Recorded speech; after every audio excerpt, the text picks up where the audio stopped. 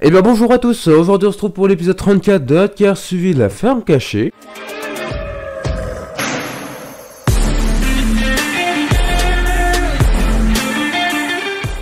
Du coup aujourd'hui comme on se trouve pour le 34e épisode. Et dans cet épisode qu'est-ce qu'on va faire? Et bah comme d'habitude on a vraiment beaucoup de boulot. Tout simplement parce que dans cet épisode là j'aimerais bien partir ensiler le maïs. Enfin du moins finir l'ensilage du maïs. Également j'aimerais abattre quelques arbres et aller vendre le bois bien évidemment Parce que comme vous pouvez voir les arbres ont quand même plutôt bien poussé. Donc bien évidemment je ne vais pas tout abattre non plus. Et également chose que je vais faire dans cet épisode C'est que je vais faire un petit peu de miel à droite à gauche dans l'épisode. Tout simplement parce que j'ai réglé le problème des... Euh, palette de miel, on va dire ça comme ça. Et également, euh, j'aimerais bien commencer à déchaumer en fin d'épisode. Bon, bien évidemment, ce n'est pas encore pour le moment. Mais avant de partir ensiler le maïs, on va vite fait s'occuper euh, du miel, de la production de miel, tout simplement parce que, euh, comme vous pouvez voir, bah là, tout est plein. Voilà, il, me faut encore des bocaux, etc. Donc ça, d'ailleurs, il va falloir que je rachète tout à l'heure. Il faut que je refasse un petit stock. Également, il y a beaucoup de miel. J'ai enfin réussi à récupérer les palettes de miel. Je pense qu'on peut appeler ça des palettes de miel. Et le problème était que tout simplement, il fallait juste ouvrir comme ça. Et à partir de là, tout simplement, on peut les sortir. Bon, maintenant je peux plus les sortir parce que j'en ai plus. Et également, histoire de pouvoir faire un petit peu tout euh, de la production de miel dans cet épisode, bah tout simplement,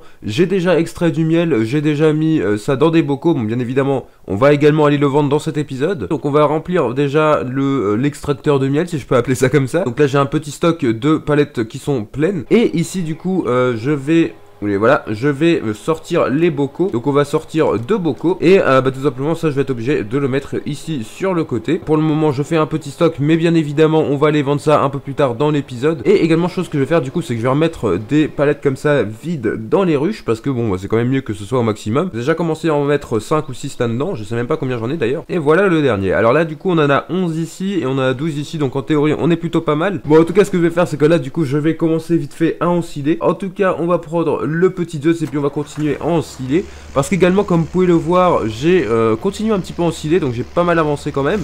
Bon, je vais pas vous cacher que j'ai encore une fois une autre benne, parce que comme vous avez pu le voir à la fin du dernier épisode, tout simplement, la benne buggée, voilà, j'arrivais plus à mettre d'ensilage dedans, je sais pas pourquoi. J'avais que des problèmes avec toutes les bennes, et cette benne là, j'ai l'impression qu'elle fonctionne.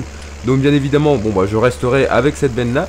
Même si je pense pas que je vais la re-remplir avec ce qui me reste. Enfin, quoique peut-être un petit peu, mais je sais, je, je vais pas sortir des tonnes et des tonnes d'ensilage. C'est pas forcément rentable l'ensilage mais euh, mine de rien ça permet de changer. Et également je pense que je vais quand même garder l'ensilage pour les animaux. Je ne vais pas le vendre directement. Et également chose que j'ai oublié de préciser en début de vidéo dans cet épisode on va également aller vendre le soja. Parce que euh, bah, tout simplement le prix il est pas trop mal si je me trompe pas il est aux alentours des 2800 euros. Enfin bref en tout cas je pense que la meilleure chose à faire pour le moment c'est euh, de mettre tout ça en timelapse histoire de finir l'ensilage du maïs. Mais du coup je vais vous mettre tout ça en timelapse et puis je vous dis à tout à l'heure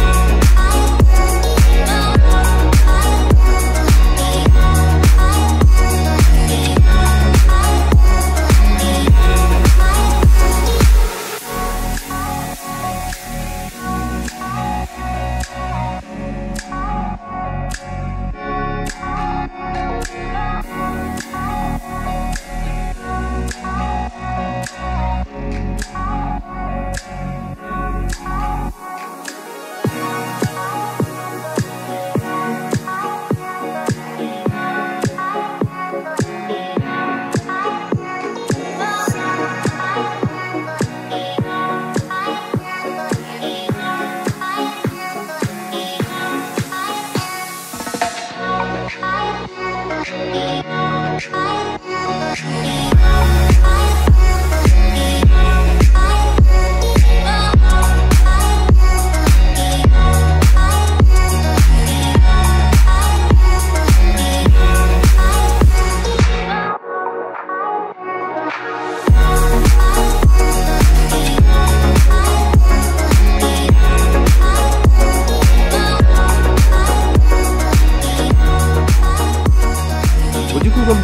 j'ai pratiquement fini l'ensilage. Alors c'est vrai que ça m'a pas pris tant de temps que ça, je m'attendais à ce que ça me prenne plus de temps. Et malheureusement, il y a tout qui rentre dans la benne, c'est vraiment dommage parce que bon, comme dit, c'est vrai que j'aurais bien aimé qu'il y ait un bon rendement. Mais comme j'ai pu le dire un peu plus tôt, euh, je m'attendais quand même à ce qu'il n'y ait pas un énorme euh, rendement, on va dire ça comme ça. Déjà que la parcelle n'est pas forcément très très grande. Bon, c'est vrai que comme dit, c'est beaucoup de boulot pour ce que c'est. Et voilà la parcelle finie. Alors hop, on va replier tout ça, voilà, on va aller vite fait vider la benne. Donc il y a quand même 9 tonnes 8 avec ce qui restait. Bon, c'est vrai que c'est pas dingue, mais c'est mieux que ce que je pensais, à vrai dire. Bon, je pense qu'on va avoir sorti à peu près 30 tonnes, entre 25 et 30 tonnes, c'est un petit peu ce que j'espérais. Là, normalement, c'est censé me vider la benne. Oui, parfait, allez avance. Je pense que je vais pouvoir m'acheter la parcelle d'herbe très rapidement grâce au miel, parce que comme dit, je vais quand même me faire pas mal d'argent avec le miel, parce que j'ai beaucoup de miel et ça se vend extrêmement cher. J'ai également du soja à vendre, donc au final, bah, il y a quand même pas mal d'argent à se faire. Voilà, c'est propre, voilà, on va ranger le karcher, je vais enlever l'aide par la même occasion. Et euh, ce que je vais faire vite fait, c'est que je vais rendre la benne. Voilà, euh, oui, on va la rendre, voilà, parfait, nickel. J'ai attelé la benne derrière ce tracteur là, tout simplement parce que bah du coup, on va commencer par aller vendre le soja maintenant que le prix n'est pas trop mauvais. Voilà, je pense qu'on est plutôt pas mal avec la benne. Comme ça, une fois que le silo sera tassé, tout simplement, on pourra charger la benne. Après, on va prendre le petit Renault, on va enlever le lève-palette. Comme ça, voilà, on va aller atteler le godet à l'avant. On va tasser vite fait le petit silo en silage. Et euh, bah, par la suite, du coup, je vais charger le soja qui est à la parterre dans la benne.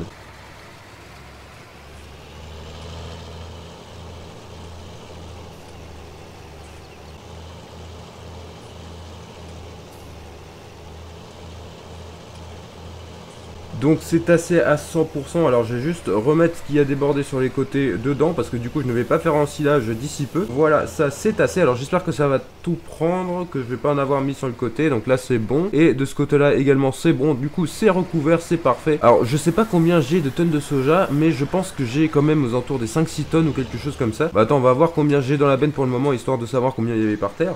Donc il y avait aux alentours des 3 tonnes 2. Mais je pense qu'il y a quand même pas mal d'argent à se faire également avec le soja. Je pense qu'il y a aux alentours des, 15-20 000 euros à se faire rien qu'avec le soja, ce qui est plutôt pas mal à vrai dire. Et voilà le dernier petit peu. Alors comme ça, le soja au moins on en sera débarrassé, parce que c'est vrai que ça m'embêtait un petit peu de le stocker quand même. On va prendre le petit 2 et puis on va les vendre tout ça. Alors je sais juste pas où ça se vend le plus cher. Je sais que ça se vend à 2800 euros, mais alors où c'est, je ne sais pas. Ça se vend le plus cher à Agri West, donc c'est celui qui est le plus loin malheureusement. Mais euh, comme dit, il y a quand même 300 euros d'écart, donc ça veut dire il y aurait quand même plus de 1000 euros d'écart si je me trompe pas, il y aurait quand même 1600 euros d'écart si je le vends juste pour le vendre plus près.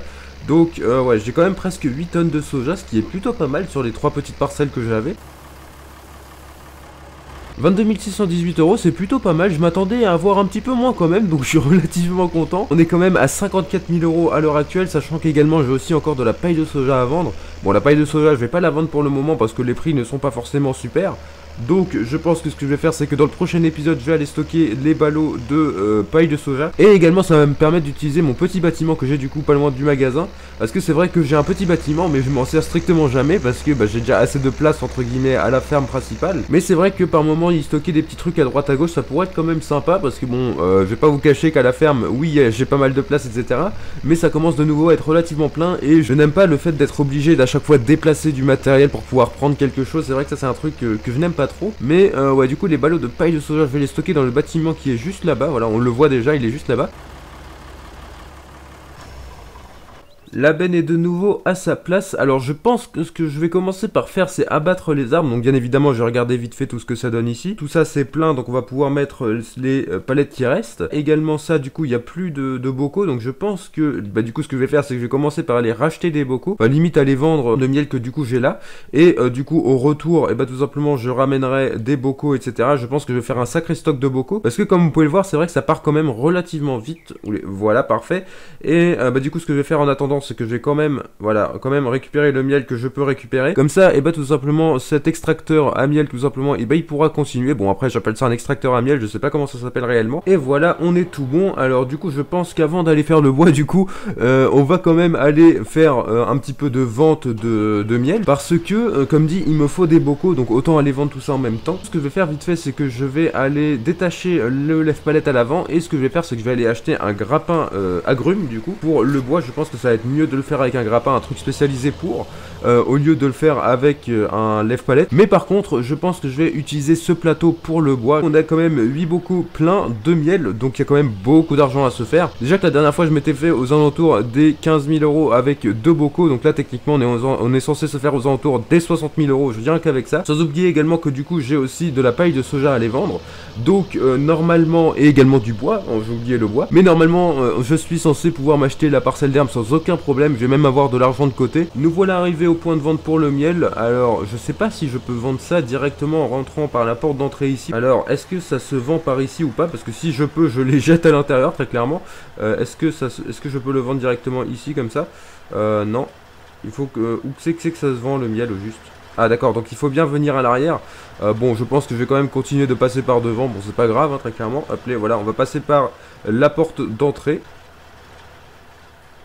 Par contre, je suis curieux de savoir s'il y a une limite pour la livraison de miel, on va dire. Est-ce que là, du coup, ça stocke le reste dans les étagères, mais je sais pas s'il y a une limite. Euh, c'est-à-dire que si par exemple, on peut pas livrer plus de 8 bocaux, ou plus de 20 bocaux, ou plus de 100 bocaux, ou je sais pas, je sais pas s'il y a une réelle limite à ça.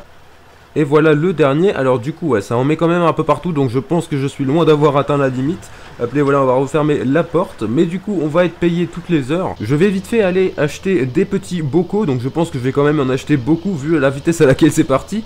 Je vais quand même en acheter beaucoup. Et également, je vais m'acheter un petit grappin à bois. Du coup, on va aller acheter vite fait un petit grappin à grumes. Je sais pas comment ça s'appelle autrement. Donc on va le chercher. Il est juste là, fourche à bois, pardon. Ok, d'accord. Donc on va l'acheter neuf. Voilà, ça coûte 800 euros. Mais comme dit, du coup, je me suis acheté le grappin à bois tout simplement parce que ça ne coûte pas cher et également c'est un truc qui va me servir à plusieurs reprises parce que du coup je vais pas faire du bois qu'une seule fois, je vais en faire plusieurs fois quand même. Là là j'en abatte quelques-uns maintenant mais peut-être que dans 5 épisodes je vais en rabattre des arbres. Bon j'en ai une quinzaine à peu près, bon je vais pas vous cacher que j'ai tout fait tomber sans faire exprès. J'avais le super strength quand je voulais juste monter dans le tracteur et sans faire exprès j'ai fait voler le plateau du coup il y a tout qui s'est barré, j'ai tout remis. Appelez, voilà, on va directement en remettre dans la machine, comme ça, ça aussi, ça va pouvoir retourner. Et voilà la dernière caisse. Alors bon, pour le moment, comme d'habitude, je vais les stocker ici.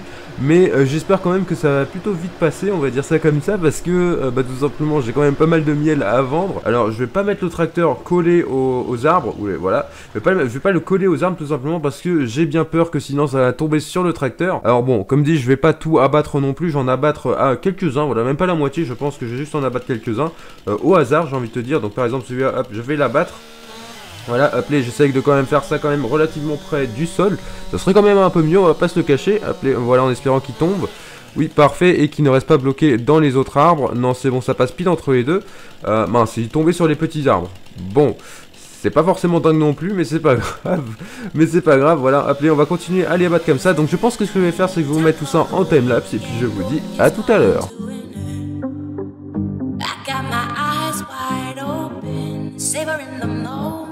trying to breathe it all in. If I could slow down.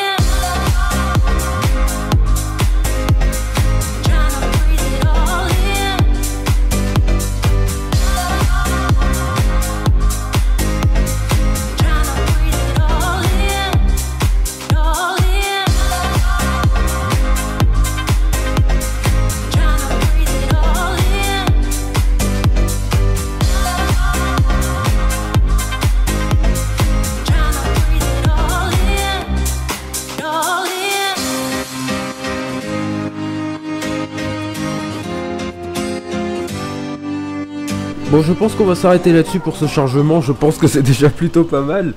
Donc, il y a quand même 4 arbres qui sont allés sur la remorque. Je pense qu'effectivement, 4 arbres, ça suffit pour le moment. Et également, du coup, on va aller dans un coin de la map où je ne vais pas souvent du tout. J'y suis allé quand j'ai fait euh, du bois il y a très très longtemps. Mais du coup, je vais aller dans une ferme. Voilà, la ferme qui est de base sur la map. Tout simplement parce qu'il n'y a pas de point de vente à la base pour le bois sur cette map là. Et du coup, j'étais obligé de placer un point de vente moi-même. Du coup, c'est là où je me dirige à l'heure actuelle. Alors, juste, je fais très attention quand je tourne, parce que j'ai pas envie de me cabaner non plus. Mais euh, comme dit, je pense qu'il y a quand même un petit peu d'argent à se faire avec le bois que j'ai à l'arrière. Bon, c'est vrai que le plateau, ce n'est pas le meilleur plateau pour faire du bois, mais on va dire que ça tient, parce que bon, c'est vrai que ce n'est pas dingue, mais ça fait le taf. je, pense qu'on peut dire ça comme ça. J'ai encore le point de vente juste là, on voit le petit, le petit icône, voilà.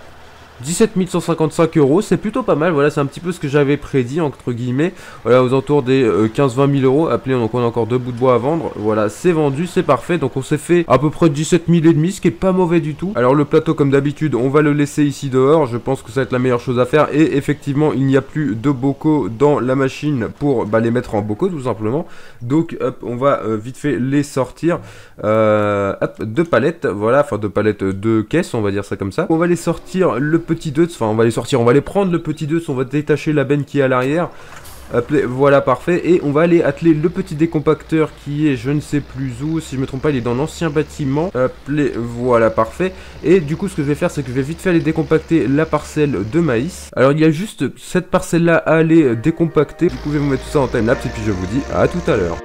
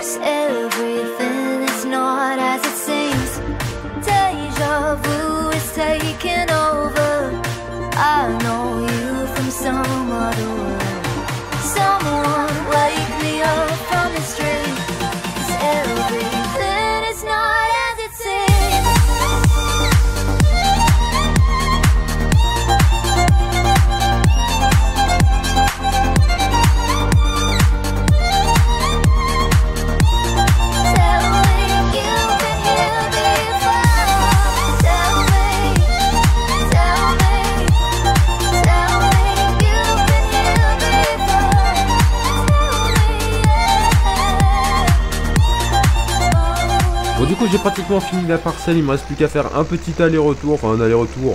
Voilà, très clairement je recule, ça me prend moins de temps de reculer que de, faire des allers-retours. Enfin bref, en tout cas la parcelle elle est finie et également je pense que ce que je vais faire quand même c'est que je vais mettre les petites palettes dans les ruches, voilà comme ça au moins ça sera fait pour cet épisode. Et également je pense que du coup dans le prochain épisode on va pas déchaumer simplement les parcelles, on va les, décompacter. Donc aussi avec bah, du coup le décompacteur que j'ai là à l'arrière, donc on va pouvoir laisser le 2 de s'atteler dessus. Voilà, comme ça au moins dans le prochain épisode, on sera prêt à partir. Voilà, appelez, on va le laisser ici. Du coup, on va aller prendre quelques petites palettes. Et encore, je pense pas qu'il y a tout qui va rentrer dedans. Parce que si je me trompe pas, les deux sont à 12. Et on peut monter jusqu'à 14 palettes dans chaque ruche. Donc au final, eh ben, je vais avoir des ruches en stock. Enfin, des ruches, des palettes en stock, pardon. Ah d'accord, bon bah c'est que c'était déjà plein. Euh, hop, du coup toi je vais te remettre là-bas. Voilà, parfait. J'ai cru que j'avais encore de la place, mais non. Également, chose que j'ai faite du coup depuis le dernier épisode, c'est que je me suis vite fait occuper des poules. Enfin, quand je dis occuper des poules, c'est surtout que j'ai débloqué la palette du coup pour les œufs. Parce que si vous vous souvenez bien, j'avais la palette qui était totalement buggée. Mais euh, maintenant, du coup, ce que j'ai fait, c'est que je l'ai revendue et j'en ai racheté une autre. Et maintenant, ça fonctionne. Comme vous pouvez le voir, il y a une boîte d'œufs à l'intérieur. Donc, il y a déjà 21 litres, mine de rien. Bon, du coup, ça, j'imagine que je ne peux pas le mettre de nouveau à l'intérieur. Je pense que ça, ça ne fonctionne pas malheureusement. Donc, il va falloir les vendre séparément. Enfin, bref, en tout cas, je pense que ce qu'on va faire, c'est qu'on va s'arrêter là-dessus pour cet épisode. On s'est quand même fait pas mal d'argent. On a pu faire pas mal d'activités différentes également. Hop, j'ai juste baissé, voilà, le chargeur frontal. Mais en tout cas, j'espère que cet épisode vous aura plu. Si c'est le cas, n'hésitez pas à laisser un petit pouce bleu et à vous abonner si ce n'est pas déjà fait. Puis moi, je vous dis à la prochaine pour une prochaine vidéo. Allez, ciao ciao